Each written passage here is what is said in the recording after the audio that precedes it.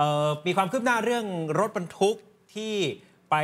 ตกอยู่ในหลุมอ๋อเมื่อสัปดาห์ที่ค่ะแล้ว แล้วก็มีข้อสังเกตว่าเอ๊ะตำรวจปล่อยเข้ามาได้ยังไงเกี่ยวข้องกับอะไรกับเรื่องสวยหรือเปล่า แล้วท่านผู้บัญชาการตำรวจแห่งชาติก็สั่งให้เจรตำรวจไปตรวจสอบนะอ่าปรากฏว่ามีรายงานจากคณะกรรมการตรวจสอบข้อเท็จจริงเรื่องนี้มาแล้ว ตรวจสอบดำเนินการเสร็จสิ้นตามกรอบเวลา เบื้องต้นการตรวจสอบรถบรรทุกในพื้นที่รับผิดชอบสอนอพระโขนงไม่ปรากฏข้อมูลการรับสวย และหน้าที่ในการตรวจรถบรรทุกหนักเนี่ยเป็นของกรุงเทพมหานคร ก็เอาเป็นว่าสรุปอืมไม่มี